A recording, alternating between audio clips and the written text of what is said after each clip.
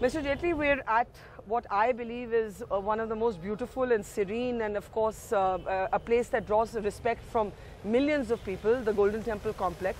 It is of course beautifully uh, refurbished, almost unrecognizable. You're back to Amritsar which has of course personal and political significance for you. So first your thoughts on, on, on that in an election year especially. Well, I've rarely city, seen a city being redone in this manner. Today, I think there's a complete transformation of this historical and religious city. You have the Golden Temple complex, uh, uh, uh, which already was a star attraction for the city. And I think the kind of facilities which have been added, the technology that has been introduced, uh, I think the world is going to come here. And then this whole area, which becomes a heritage zone, uh, in a short span, the government has completely transformed it. It's become unrecognizable. The city itself, roads, parks, highways, facilities, I think it's seen a huge improvement in recent years. In fact, in the recent uh, tally of the smart cities, uh, Amritsar got added and it got the first position all India. And I think that is the right position because the kind of work that's being done here. Now, of course, this plaza, the you know the walk through, the fact that it's now pedestrians only, no cars, the new facades. This is uh, uh, Akali leader Sukhbir Badal's pet project, your ally. Uh, the opposition would, of course, say this is timed to the elections. How would you how would you respond to that? Well, I think there is a big change in Punjab which has taken place. And that's a point I've been making through the course of the day today. We, we are having 50 years of Punjab. What did the first 30 years see? Which was the Congress domination years.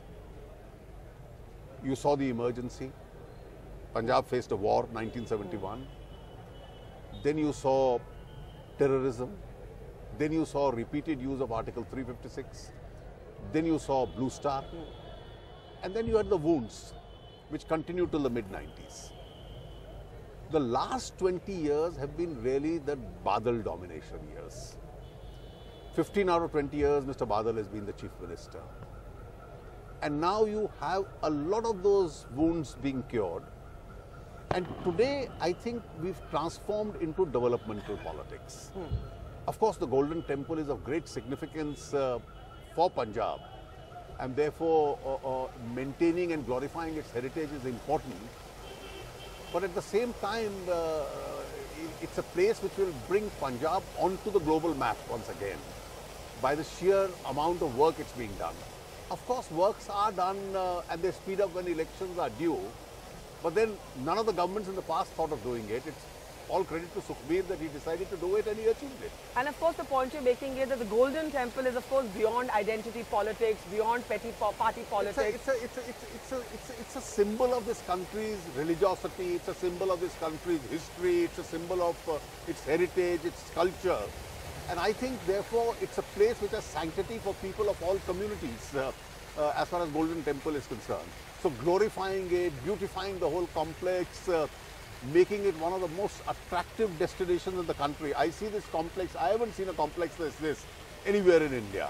And I'm sure if this Amritsar Golden Temple Heritage Complex uh, is replicated by other cities, by other chief ministers, irrespective of parties in their major cities, I think it will be a great achievement. Now, we're standing in Amritsar, of course, which for you in 2014 did not go well electorally. Many people believe that you paid the price for the anger against the Akalis. Today, as the Akalis, your allies, face 10 years of that anti-incumbency, do you honestly believe that this election does not make your alliance, uh, in a sense, the, the coalition on the back foot? Do you at least acknowledge It- that you're entering no, this election it- on the it- back It foot? doesn't at all. It doesn't at all. First of all, you must realize that the Akali BJP alliance has a lot of social significance. From Blue Star to the 84 killings to the to terrorism. I think in the last 20 odd years, this alliance served a social purpose in Punjab. It helped Punjab get out of all those tensions and look ahead. And therefore, for us, this election is, this alliance is not merely about this election, it sees far more. I, and I think this election, will, this alliance will stay come what may. There's no, there's no friction in it. secondly, secondly, after two terms, you do face an anti-incumbency. But we are facing a highly divided anti-incumbency. You have the Aam Aadmi Party, which showed some promise. And I think the Aam Aadmi Party has been found out. Hmm. Its leadership also has been found out. You're talking about what's happening in Delhi, where he the- says you actually don't let him govern. Delhi, his performance, I put it, is the worst government in local Delhi city since independence that I have seen. And he would argue that's because you don't let him govern. No, I- I you think meaning not I- you, Mr. Jaitley, but the all, centre. Didn't uh, Mr. Madanlal Khurana govern? Didn't Mrs. Sheila Dikshit govern when they had contrarian governments in the centre? Isn't Mamta Banerjee governing? Either isn't Pinarayi Vijayan, uh, Vijayan governing? After all, isn't Nitish Kumar governing? Isn't Akhilesh governing? Now these are all contrarian governments, but they are doing whatever they can in their states. Uh, I think the problem with the Aam Aadmi Party is it doesn't want to govern. It wants to live by a daily controversy. And I think uh, uh, uh, the, the, the style of the party is such, it's been found out by the people in Delhi, it's being found out in anticipation by the people in Punjab, and therefore it climaxed, and I think it's, uh, it's heading for a big fall. The Congress all over the country is a spent force. It's trying to uh, do its best uh, in Punjab, but it's faction ridden and so on. And I'm quite certain that uh, the, uh, the Akali BJP government will see an opposition amongst a section of people. We have our own strong support base. That base will remain. And I'm reasonably confident uh, that this divided anti-incumbency will, is going to see us through. Who do you see as the main opposition? You see, some weeks ago I could say it was the Aam Aadmi Party. Today I think the Aam Aadmi Party is going down very rapidly. So it's, it's, it's a divided, I'm a little confused.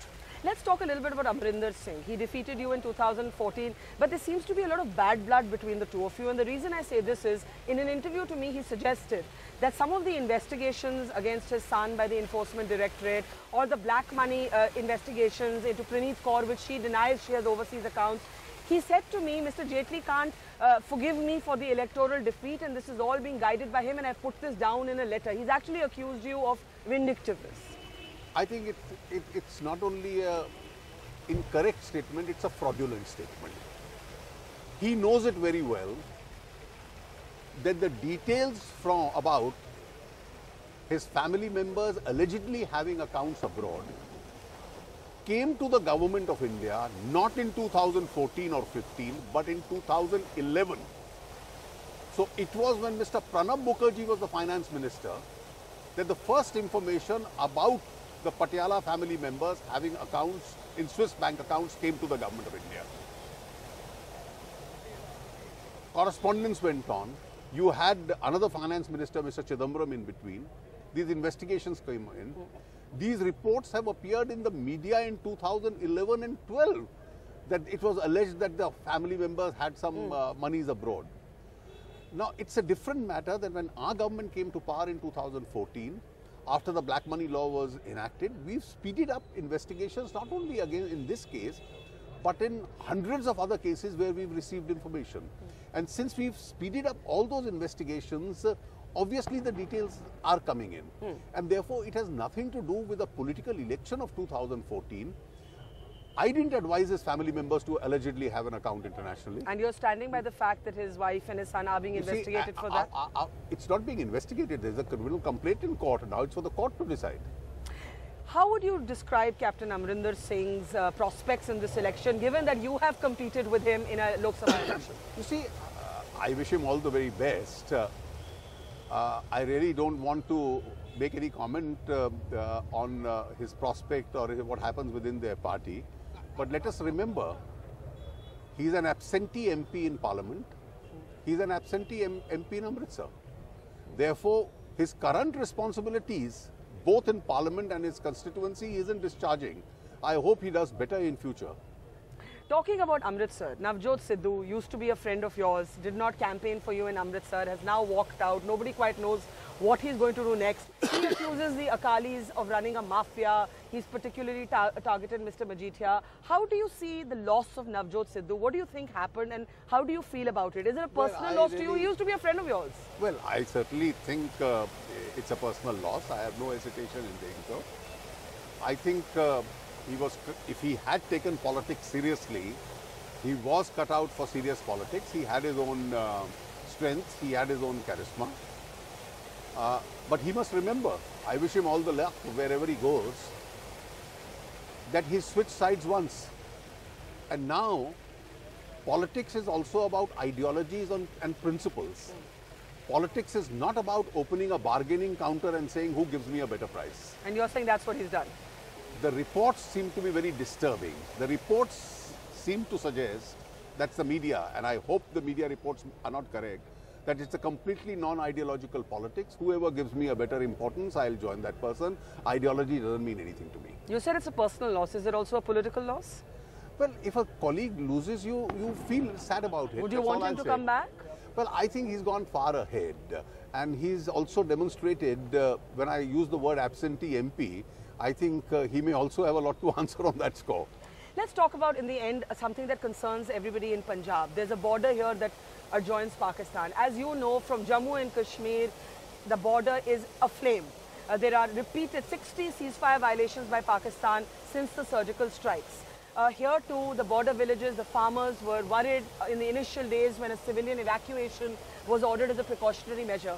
Mr. Jaitley, how do you see this tension at the India-Pakistan border in a state like Punjab and the adjoining state of Jammu and No, Kashmir? no, it's a very serious matter for us. And it's serious because it's not only the border tension. Pakistan allowed its territory to be used for insurgency within India. And there are not one but umpteen incidents. Pathankot was a big incident, Uri was a big incident. And of course now we've suffered enough in silence. We've suffered enough taking just some diplomatic initiatives and so on. I think the times have now changed. And the government of India has a more proactive approach. and the more proactive approach is that if you indulge in terrorism in India, or if you kill people across the border, then there is a cost involved and you'll have to pay a price for it. I think that policy of the government of India is extremely evident and it's uh, showing itself. But some would say we are paying a price too, our civilians, You our soldiers, our jawans. a- you see, you in a conf- you were as it is paying a price. Yes. We paid a price in Uri, we paid a price in Pathankot, but it was a one-sided price. Today, the cost that Pakistan has to pay is far heavier, and Pakistan is in a very precarious uh, situation as far as their own governance, as far as their own democracy, as far as their own uh, civilian-military relationships are concerned, and therefore the costs involved on Pakistan are going to be extremely severe. Do you see that as an election issue here in Punjab? Because everybody here has either history with Pakistan, a pre-partition history, or Well, a I present at the border. I, I hope it doesn't become an election issue, because uh, these issues relate to the sovereignty of the country, and in sovereignty, everybody should speak the same language. But if somebody chooses uh, uh, to speak a contrarian language, it's only then that it becomes an issue.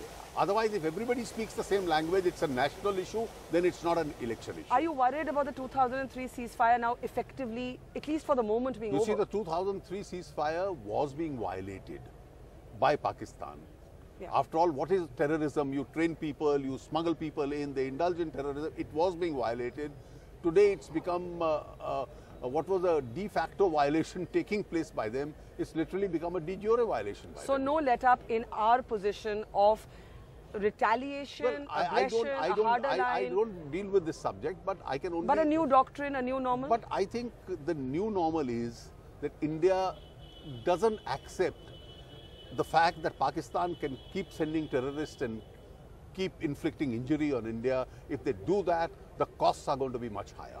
Last question, since you're an election analyst and a psephologist, if you could remove yourself from being a, a, protagonist in this election, what would be your forecast for this election and what is the biggest electoral liability for the Akalis? Is it sheer anti-incumbency? Is it the drugs issue that all the opposition has, uh, in I a think, sense, uh, focused I think, on? I think it's a, it's, it's a problem, but it's being uh, uh, politicized uh, excessively. It need not have been. It's The a social issue, issue. the It's a social issue. issue. It's a social issue which Because some the Akali leaders have also been accused I in think, I think if you're in power for two terms, people then look at a change. But if you've done exceedingly well, then people don't look for a change. And I can tell you today, the kind of developmental activity this government has done in Punjab, the kind of uh, social cohesion that it has brought in Punjab, and the kind of roadmap that it has set in a border state in Punjab is commendable. And therefore, I do believe that this government does deserve another chance. And your forecast? Well, I think it's too early to suggest. I think uh, the Akali BJP would be in the lead because you have a very badly divided uh, opposition. Well, from the beautiful Golden Temple complex, pleasure Thank talking you. to you, sir. Thank you.